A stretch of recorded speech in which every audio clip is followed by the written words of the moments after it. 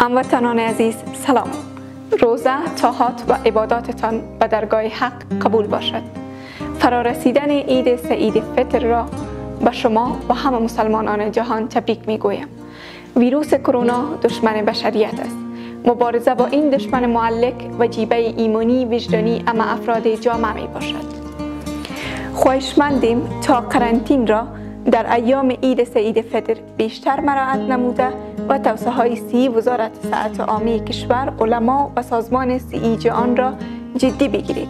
و جا دارد از صلابت سکتور خصوصی به خاطر کمک به نیازمندان جامعه ابراز امتنان و قدردانی نموده یک بار دیگر به کاهش و کنترل قیمت ها برای عید سعید فطر سهم خود را ادا نمایید.